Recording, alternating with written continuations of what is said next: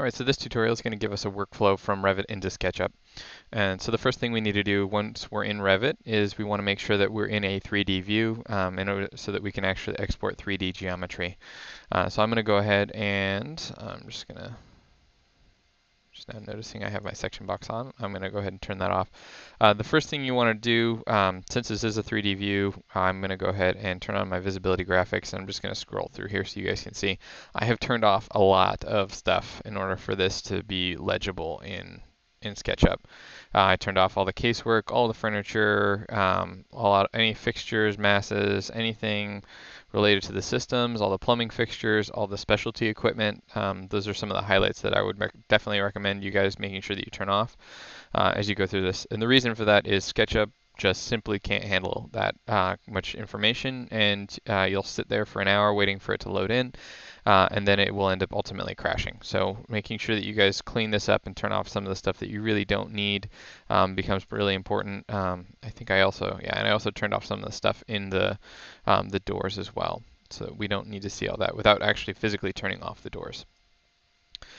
All right, and so uh, once we're in there, we can go ahead. Uh, you can eliminate as much as you think is uh, as much as you can. Uh, if you have imported models and stuff like that, I suggest that you um, turn those off as well, uh, so that we really don't need to.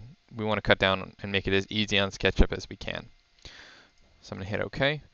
Uh, now I'm going to come down, go File, Export.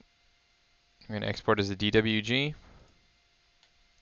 And in our setup, we're going to go ahead and make sure that we're going to export these as solids instead of a polymesh. Uh, again, uh, a polymesh is going to really give you a huge kind of a mess uh, when you get into SketchUp, and we really want these things to be um, the components, and we want to maintain those things as components as we get into SketchUp. And you'll see what I mean once I get in there. So I hit OK. I'm going to go next. And I'm going to go ahead and I'm on my desktop. I'm just going to go ahead and hit for SketchUp. Uh, and you need to do uh, a legacy file. 2004 um, is essentially going to be, I think that's as far forward as I've been able to go uh, with and being completely successful. So I'm going to go ahead and hit OK. Yeah, go ahead and replace it. And this shouldn't take too long because it's a pretty light model at this point. It's just some basically walls, windows, and doors.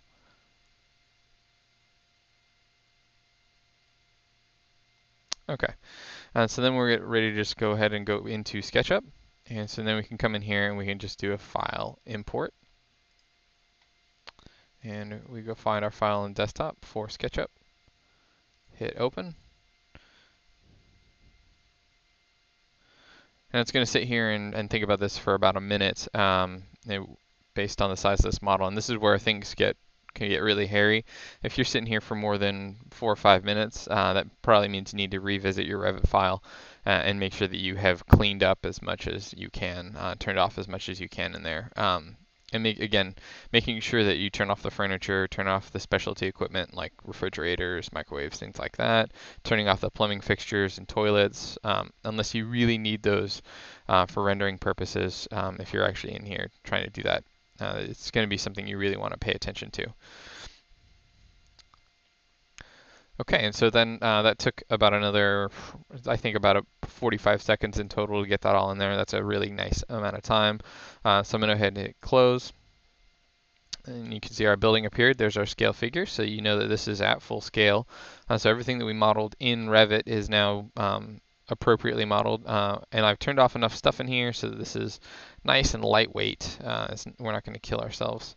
Um, but then I can come in here. Oop, I don't want to actually move it. I want to select some stuff. So uh, I'm going to select this, right click, and I'm just going to explode it. Uh, what this will do is this will explode it into its constituent parts. Uh, I'll just delete that out. And then we can see like we have the ceilings and all this stuff uh, is in here. So I'm just going to zoom in, handle, and you can see how all this is set up. And we have the ceilings in here, we have all these roofs, we have even the rails and all that.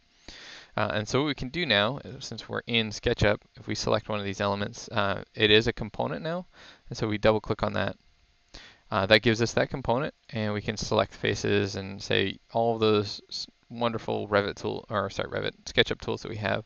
Um, in there we can start to adjust and uh, and we can start to mess with each one of these components as we see fit.